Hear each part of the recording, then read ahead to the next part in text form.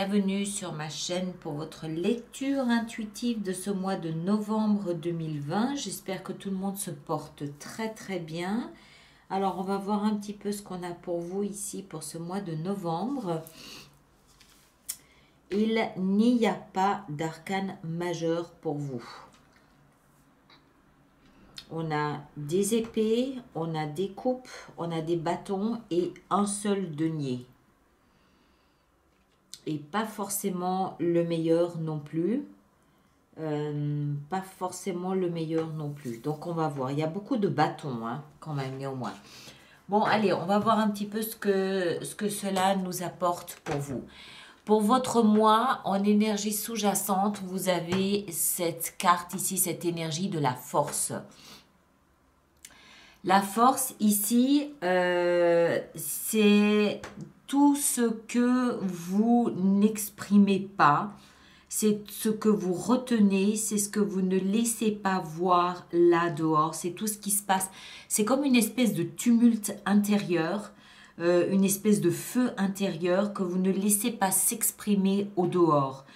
Euh, alors, ça peut être une invitation à aller chercher une force profonde à l'intérieur de vous, mais ça peut, euh, et je pense que c'est comme ça que je vais le lire, ça aurait pu également nous parler justement de toute cette retenue, de tout ce que vous ne laissez pas s'exprimer. Ici, on a des énergies qui sont très, allez, je vais pas dire timides, mais qui, qui n'osent pas, qui n'osent pas s'exprimer, qui ne, des énergies qui sont peut-être un petit peu euh, sur la réserve, sur la retenue. Il euh, n'y a rien de vraiment, de vraiment franc. Hein. On va voir, on va entrer dedans, vous allez comprendre ce que je veux dire. Donc, on, peut, on peut supposer que cette énergie de la force, elle vous invite à aller puiser ce dont vous avez besoin de force nécessaire pour exprimer ce que vous avez à exprimer. Euh, ou au contraire, elle, elle, est là pour nous montrer à quel point vous êtes dans la retenue, à quel point vous, vous, vous retenez les événements euh, ou, les, émotions qui vous envahissent pour ne pas les exprimer. On va essayer de comprendre, on va essayer d'entrer dedans. Hein. L'énergie autour de vous et pas votre environnement, vous spécifiquement vous en cette fin de mois d'octobre, début novembre, 4 de denier et 8 d'épée. Tout est dans la retenue, tout est dans la zone de confort. Je ne sors pas de là où je suis, je n'exprime rien, je ne tente rien, je ne bouge pas, je suis bloqué, je stagne. Euh, vous pouvez vous sentir prisonnier, vous pouvez avoir peur d'oser faire quelque chose. Ça peut être au niveau professionnel, ça peut être au niveau sentimental, ça peut être votre vie d'une manière générale. Ça, ce sont des énergies de blocage. Vous êtes bloqué. D'accord euh, le peu que vous avez, vous n'osez pas l'investir, vous n'osez pas l'exprimer, vous n'osez pas le montrer, vous n'osez pas le partager de peur de manquer. 8 d'épée, vous vous sentez emprisonné, vous vous sentez symboliquement bloqué, emprisonné, ligoté. Euh, comme si vous aviez peur d'aller plus loin, comme si ça n'était pas le bon moment, comme si vous sentiez que moi, comme si vous sentiez que c'était pas le bon moment. Moi, j'ai l'impression, moi, j'ai l'impression ici que hum, c'est, c'est, ça a à voir avec le courage. C'est quelque chose qui a à voir avec le courage. Vous manquez peut-être de courage à vous exprimer. Vous manquez peut-être de courage à montrer ce que vous pouvez ou ce que vous voulez ou ce, que, ou ce dont vous avez envie. Je le vois comme ça. Pourquoi? Parce que ce que vous voulez le plus, c'est exprimer vos émotions. Alors oui, ça peut être dans une relation sentimentale, mais ça peut aussi être à travers un job, à travers un travail. J'aime ce travail, je voudrais changer de poste, celui-là me convient mieux parce que je sens que c'est quelque chose qui me parle davantage que là où je suis. Euh, vous aimeriez montrer quelque chose, vous aimeriez vous connecter émotionnellement à quelqu'un d'autre, à d'autres personnes, à un groupe, à un clan. Euh, vous, vous avez envie d'ouverture de cœur. Et néanmoins, vous avez des énergies qui nous montrent l'inverse. Ce qui va vous aider là-dedans, dans cette démarche, au cœur de votre lecture, c'est de savoir ce que vous voulez. Quel est l'objectif que vous êtes en train d'essayer d'atteindre? Qu'est-ce qui fait, qu'est-ce qui anime votre cœur? Qu'est-ce que vous voulez? De quoi est-ce que vous rêvez? Quel est ce Graal là devant vous qui vous fait avancer? Qu'est-ce qui vous motive dans la vie? Qu'est-ce qui vous fait vous lever le matin? Que voulez-vous? Quel est le rêve que vous souhaitez réaliser? C'est comme s'il y avait une espèce de flou artistique autour de ce que vous désirez vous réellement et du coup vous êtes bloqué. Vous êtes vous n'avancez plus ou tout au moins vous n'avancez pas dans la direction de vos rêves. Qu'est-ce que vous êtes en train de faire? Le défi, ça va être de trouver quelque chose d'intéressant à réaliser. Le défi va être de trouver quelque chose d'amusant pour vous. Euh, le défi est de bouger, le défi est dans l'action, le défi est dans la passion, dans le feu, dans la flamme, dans le désir. Qu'est-ce que vous voulez? Ça semble être le cœur de votre lecture. Automatiquement, quand on ne sait pas ce qu'on veut, quand on ne sait pas ce qu'on veut réaliser, eh ben on reste bloqué. Ça me paraît évident. et euh, est-ce que c'est une question de courage? Est-ce que c'est une question de savoir ce que vous voulez ou pas? Est-ce que c'est une question aussi de trouver peut-être euh, une passion, de trouver une pépite dans votre vie, c'est-à-dire quelque chose qui vous amuse, quelque chose qui vous donne de l'intérêt? Où est votre intérêt? Et quand je dis intérêt, je ne parle pas d'intérêt économique, même si, encore une fois, on ne peut pas l'exclure. Quel est votre intérêt? Qu'est-ce qui vous motive? Qu'est-ce qui vous fait sourire? C'était quand la dernière fois que vous avez éclaté de rire? C'était quand la dernière fois que vous vous êtes amusé à réaliser quelque chose? Dans votre vie sentimentale, valet de bâton. Pareil, même chose. L'intérêt ici est de trouver quelque chose et de réveiller votre joie à la vie, de réveiller votre, votre envie de vous amuser, votre envie d'éclater de rire, votre envie de retrouver cet enfant intérieur et de jouer avec lui de jouer dans la vie, de jouer de la vie. Dans votre vie sentimentale également, est-ce qu'il y a trop de poids, trop de lourdeur, trop de, trop de sérieux, trop de responsabilité? Est-ce que vous avez peut-être besoin de d'alléger tout cet environnement pour pouvoir vous amuser quand même un petit peu? D'accord? Euh, Un début de passion, oui. Pour qui Pourquoi Comment De quelle façon? Moi, j'ai l'impression que c'est une espèce de, reflet de, d'une vie peut-être un petit peu sinistre. Euh, enfin, sinistre, c'est peut-être un mot un peu fort, mais euh, une vie peut-être un petit peu triste ou nette dans laquelle vous vous êtes enfermé et aujourd'hui vous réalisez que vous êtes enfermé là-dedans et vous aimeriez en sortir. Ça, vous vous rendez compte, vous avez le, valet de bâton, le chevalier de bâton, la reine de bâton, vous avez envie de, vous avez envie d'amusement, vous avez envie de force, vous avez envie de passion, vous avez envie de, de, de créativité peut-être aussi, de jouer un petit peu, de vous amuser un petit peu. Mais vous savez peut-être pas trop dans quelle direction regarder, vous savez peut-être pas trop comment vous y prendre. Euh, voilà, il y a, des énergies autour de vous, hein, c'est vous qui bloquez. Et, ici, la force, voilà, la force, encore une fois, ça peut être soit je me retiens d'exprimer ce que je veux, soit je vais aller puiser de la force et du courage pour exprimer ce que je veux. Euh, moi, j'ai l'impression que vous manquez de courage ici. C'est comme si vous vous êtes satisfait d'une situation dans laquelle vous vous laissez enfermer petit à petit. Et, votre, enfant intérieur ici vous toque à la porte en disant Hé, j'ai envie de jouer, moi, j'ai envie de m'amuser, j'ai envie de rire encore. Qu'est-ce que vous voulez? Quel est le rêve que vous souhaitez réaliser? C'est au cœur de votre lecture. On continue. Dans votre vie professionnelle et financière, le roi d'épée. Alors, le roi d'épée, euh, il peut, dans ce contexte ici, nous parler d'une figure d'autorité. Ça peut être un patron, ça peut être un banquier, ça peut être un avocat, quelqu'un pour qui les mots ont de l'importance, quelqu'un qui a l'habitude de jongler avec les mots, quelqu'un qui réfléchit, qui analyse, quelqu'un qui anticipe, quelqu'un qui, qui joue aux échecs. C'est l'énergie du joueur d'échecs, quelqu'un qui place ses pions. D'accord? Euh, donc vous pouvez très bien avoir affaire à quelqu'un comme ça ce mois-ci. Si ça n'est pas un personnage, c'est que vous, vous prenez cette énergie.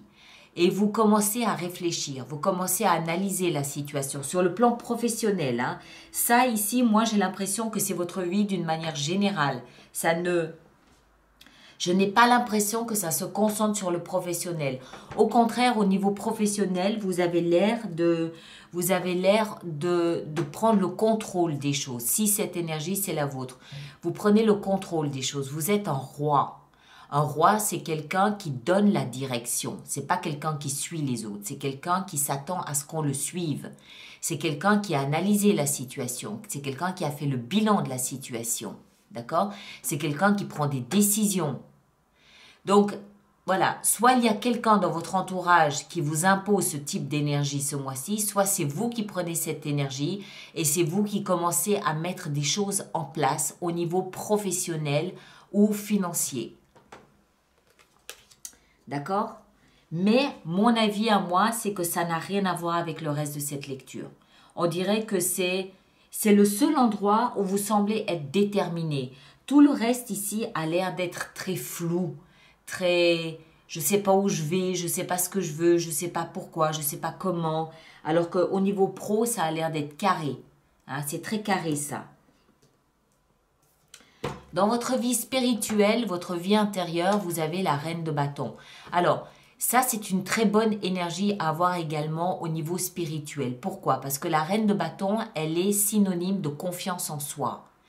C'est quelqu'un qui sait briller, qui sait comment briller, qui aime briller, qui a confiance en lui ou en elle, qui sait comment capter l'attention des autres, euh, qui sait comment parler, qui sait comment attirer la lumière sur soi.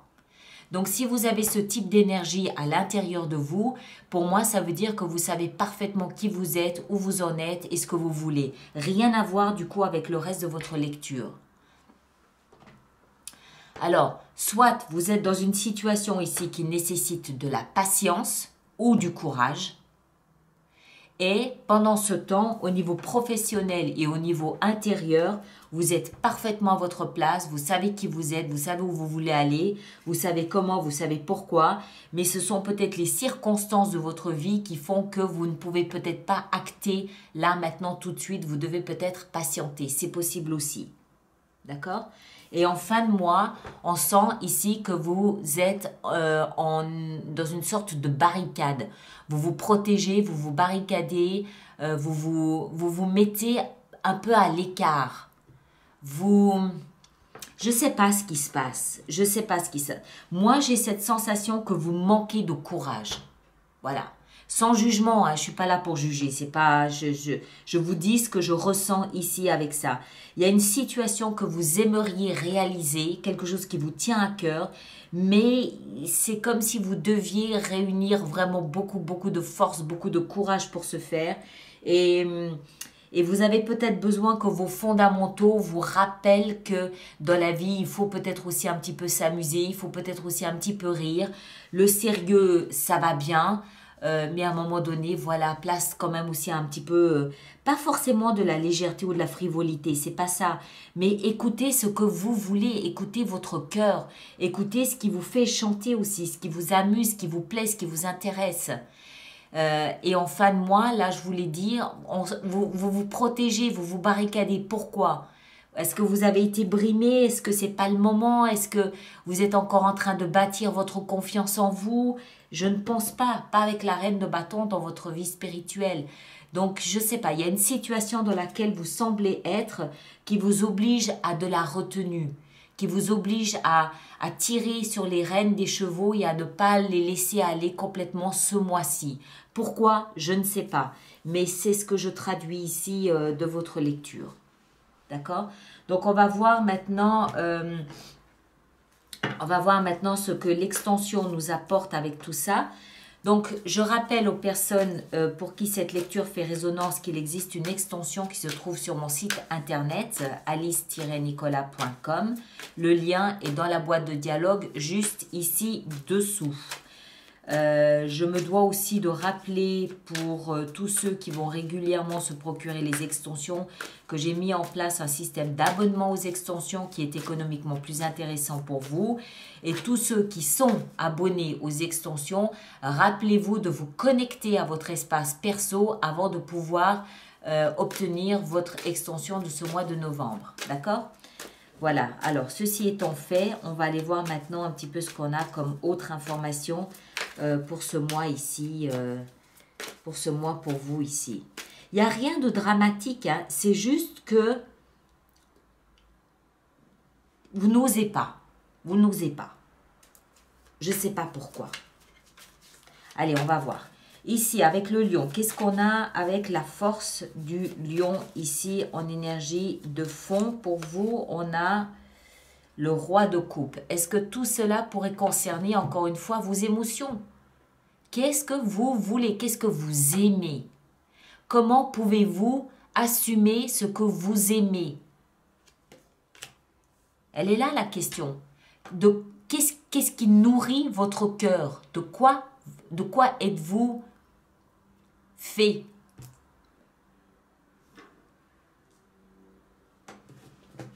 Ouais, il s'agit de, il s'agit de, pour moi, il s'agit de ça. Il s'agit vraiment d'assumer ce que vous aimez. Ou qui vous aimez aussi, hein. ça peut aussi être une personne. Hein. Bon, allez, on continue. Euh, le 4 et la 8 ici d'épée. Qu'est-ce qu'on a? On a le roi de, le roi d'épée. Oui, bien sûr. Merci. Qu'est-ce qu'on a avec ce que vous aimez le plus ici? Le chevalier de coupe. Euh, on a le chevalier de denier. Très bien. Dans cette neuf de coupe ici, au cœur de votre lecture, qu'est-ce qu'on a? On a, on a, on a, on a, on a le jugement. Très bien. Ça sent l'expérience, euh, ça sent le, ça sent l'expérience de quelqu'un qui s'est brûlé les ailes déjà. Le chevalier ici euh, de bâton, on a la 8 de coupe. Ça sent l'expérience de celui qui s'est brûlé les ailes. Dans votre vie sentimentale, ici, le valet de bâton, on a la 9 d'épée. Dans votre vie professionnelle, avec le roi d'épée, on a, on a, on a la reine d'épée. Waouh Dans votre vie spirituelle, avec la reine de bâton, on a, on a, on a, on a l'as de denier. Et en fin de mois, avec la 9 de bâton, on a le roi de bâton. Oh, punaise. Vous en avez des rois. Hein. Je me demande si vous les avez pas tous d'ailleurs. là. Non, il manque le roi de denier. Voilà mes très chers. Alors, on va euh, faire cette extension. Je peux aussi, je vous rappelle que je peux décider d'en rajouter si j'estime que c'est nécessaire pour le message. Merci à vous tous. On se retrouve au courant du mois de novembre pour d'autres lectures. Je ne sais pas encore lesquelles je vais faire. Ceux qui me rejoignent pour l'extension, à tout de suite. Et puis les autres, à très bientôt. Merci beaucoup.